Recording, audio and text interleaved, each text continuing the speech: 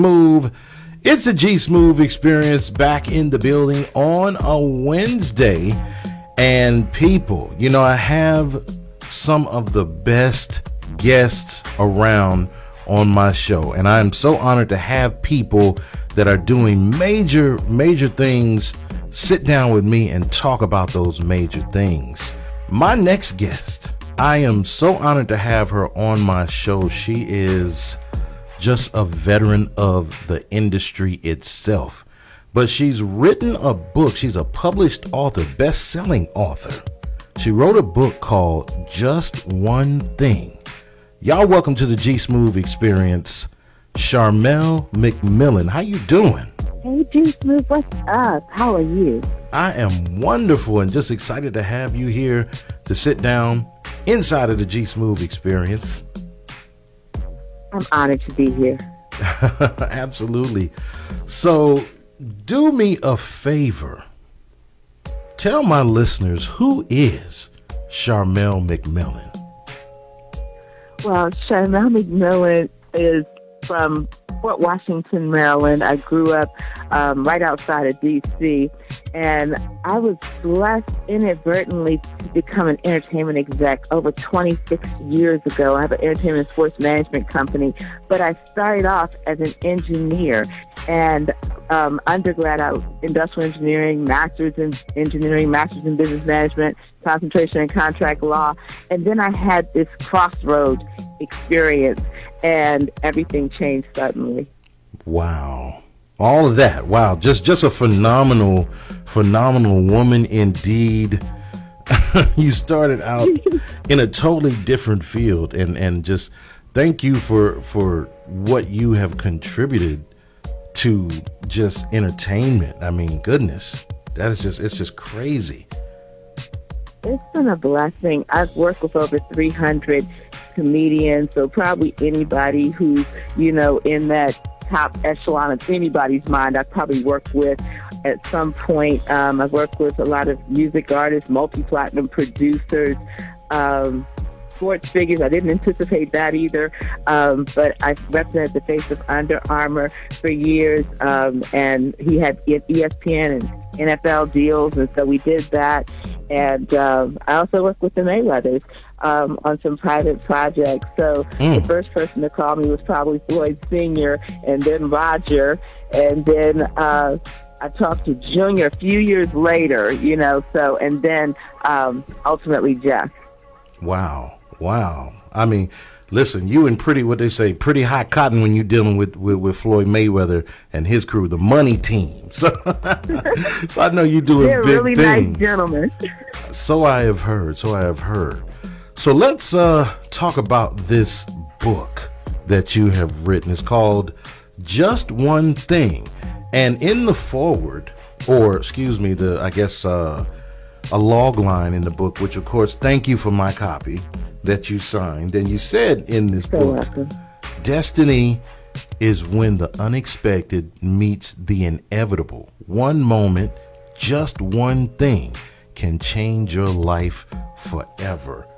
Listen, I don't. Uh, I think destiny is a. It plays a big role in my life. I have a, a saying, and I, even my consulting company is called "Attack Your Destiny." This is mm-hmm. this book is very inspirational. Tell us about this book. Please tell us what made you put this together. Well, actually, people have been asking me about had I written a book for years and years and years, and I kept saying no. And so sometimes, I talk about in the book, sometimes what's so obvious to everyone else isn't obvious to you because it seems so second nature and too innate, you know, and I think people bypass their purpose for years and years and years because it's so innate. They were basically born doing it or born impacting people with that special gift. And that's why they overlook it. And they tend to look to the left or to the right and try to mimic or emulate what they see in other people. And so after, I think one of my dearest friends, um, Dion Summers, who's uh, one of the vice presidents of programming at er, um, XM Sirius, he said, when's the book coming out? I was like, I don't have a book. And he's like, oh, no, you got several books coming out. And so I think something resonated. And as um, I was starting my foundation, CTE Vision Foundation Incorporated for exceptionally talented kids and disadvantaged kids, I've always told my clients, you have to have something for people to connect with you when you're doing speaking engagements or TV appearances or radio. You have to have something for people to connect with you. So I thought, let me try to put this book out. But it didn't happen at first.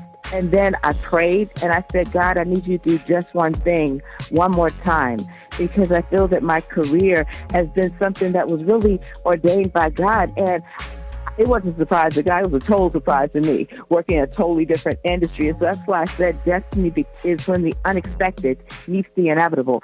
It's a surprise to you, but it's not a surprise to God when you finally lock in to the things that are so innate to you, the things that people mindlessly support about you and request of you. When you when you finally lock into that, that's when God steps in and the unthinkable starts to happen. I said I've never had to um, negotiate or, you know, barter for a deal or try to get clients.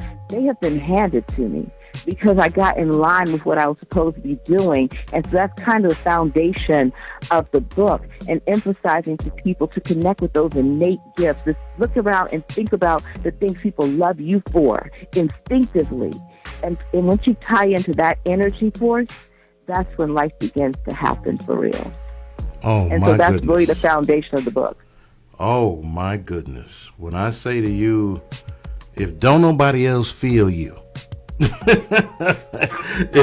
if if you haven't given anybody else a word, you have given me a word today. Uh, that believe it or not, it's something I have struggled with.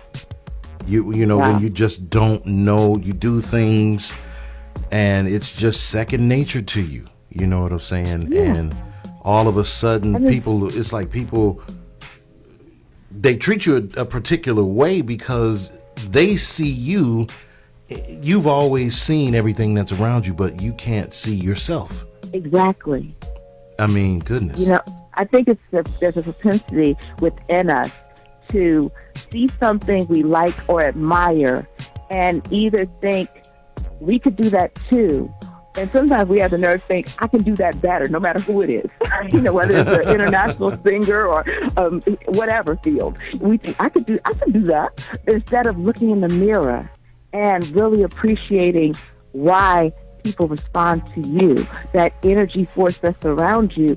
And so when I say, when I prayed. I got I was at this crossroad, like I said, I was an engineer, professional engineer, right out of college. And one day I prayed and I said, God, I need you to do a new thing in my life, but I don't I don't have a direction. Anyway, you bless me, I'm cool. And I always say, right before greatness, there's relenting, where you mm. let go and you trust God's will mm. for your life. You trust what God has in store for you. And so that relenting is the biggest part of the breakthrough. When you say, anyway, you bless me, God, I'm cool. I trust your will for my life. That's when things started to change. And that's kind of where the book begins to pick up by chapter two. And I inadvertently start meeting people when I said, God, can you bless me? And that's what the book talks about. I inadvertently met Paul Mooney and oh, Colin oh, Powell and D.L. Hughley and Bob Johnson at the height of BET. And those four men became the cornerstones of what I was to become. They started planting seeds and wisdom and speaking to me. And how we met is like the most incredible thing. And so that's kind of some of the life changing moments, some of the life defining moments that I capture in the book, but not just from a standpoint of watch me win or watch these miracles happen, but the fear, the frustration, the trepidation that happens when you decide to stretch totally out on faith, no matter what it looks like. God, I trust you. And so that's what the book is about. One of my dear friends, Rodney Perry, says it's really a testament of how to have faith that mm. book. He said, I carry it with me when I tour, mm. when I travel. D.C. Curry has told me that um, so many people have shown love. And let me give a shout out to Mike Epps, one of my dear friends of 27 years for writing the foreword for my book, um, and you know, laying testament to who we are as friends and, you know, who he's always seen me as professionally and, you know, how we evolved as friends. Mm. Listen, you just you just dropped a message and I hope that my listeners heard that. I hope that you guys are paying attention to what my good friend Charmel is saying and you need to get this book. Where can people follow you and keep up with you? And also, where can they get a copy of this book? Just one thing.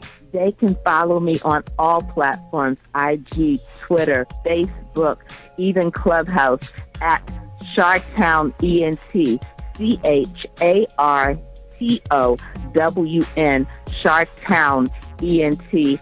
And they can get the book directly from the website at chartown.com. That's C H A R dash T O W N dot com. And that's signed copies, and we've been blessed to sell out four times nationally. We're going on five right now. And so I feel so blessed by the love and support of people nationwide, and even several orders have come from other countries. And so I'm just so thankful for the love and support and really how it's touched other people's lives. The fan mail, the love mail, as I call it, has really blessed me. Charmel, I just want to say thank you. Because you've blessed me today. Like, you don't understand. People never know what you're going through. You don't understand yeah. what I'm going through and what I've been through. But your words have, have seriously blessed me, and I know that they have blessed somebody else, uh, and hopefully put them on a path to seeking to do the best and seek the best out of themselves and have that faith in God that it's going to happen. That because he he yeah. he stands with you. Yeah. So I thank he you. He stands before you and around you. Yes, yes. And I thank you so much for coming on the show and taking time out of your day I appreciate you so much. And this is just the first uh, of a number of things I hope that we can do together. I want to bring you down here uh, to the city, maybe for a book release at some point, a, bu- a book signing or something. It would be just an awesome oh, that would thing. Be awesome. So uh, thank you again, ladies and gentlemen. Charmel McMillan, she's the author of Just One Thing. Go out and get it. This book is going to bless you. It's going to absolutely bless you. Thank you. Thank you so much. Honored. Don't y'all go anywhere. Of course, coming up at 9 o'clock, The Real Love Zone. You don't want to miss it. It is a G Smoove experience right here on K92.7 playing the best R&B and throwbacks.